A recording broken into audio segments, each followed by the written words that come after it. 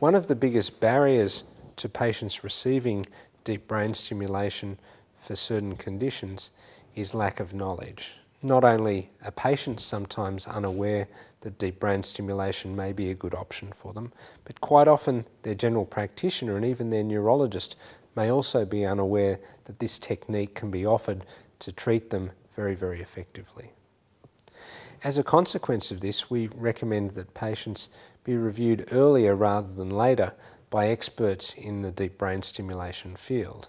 This allows us to explain to them and to communicate with their GPs and their neurologists about the possible benefits of deep brain stimulation and whether or not this may become a viable option for a particular patient down the track.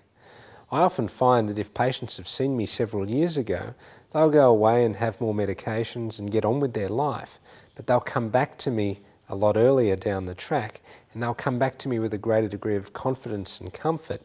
in order to be able to have surgery at a time that's right for them. As a general rule, deep brain stimulation often becomes an option once patients get to the point where they're either not getting the same benefit from their medication that they were getting before, or that they're getting significant side effects that they can't tolerate.